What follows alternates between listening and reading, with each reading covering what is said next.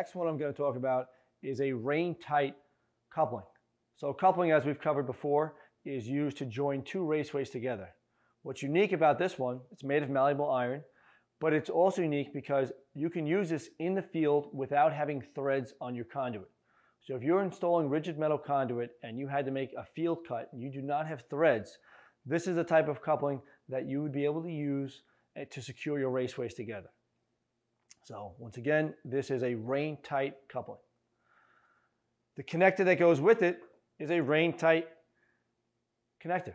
The rain tight connector is used and you have to make sure no water is penetrating your enclosure.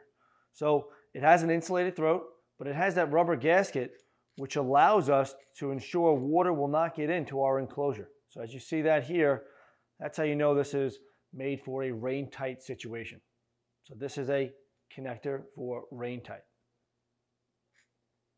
For more information about Topaz products, please visit our website.